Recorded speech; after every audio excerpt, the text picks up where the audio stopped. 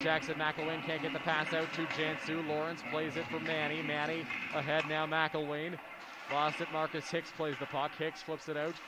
Manny will deflect that ahead, and now it's played over. Here come the Stars coming in. A shot from Paris, who scores.